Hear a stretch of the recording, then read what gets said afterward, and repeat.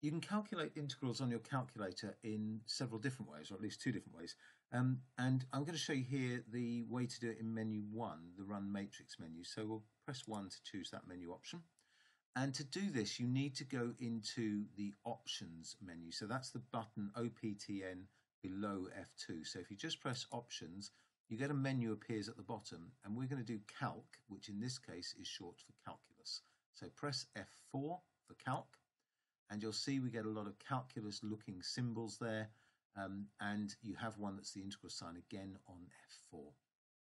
So we'll press that and it presents us with an integral looking um, thing uh, which we can now fill in. So we'll fill in the um, calculation we just did, which was x squared minus x plus 1. And then we need to put our limits in. So let's go back to the limits. Was a limit of 3 at the top and we're using the cursor pad to control our uh, to move around here and 1 at the bottom. So that was the problem we had. Notice we don't need to put the parentheses, the brackets in. Um, that was the answer we had. And if we press EXE, there we go, 20 over 3. If you're not sure what that is, um, press the SD button and you get it in decimal format. There you go, 6.6 recurring. The 7 at the end is because the calculator's rounded up from the last 6 off the screen to make it a 7.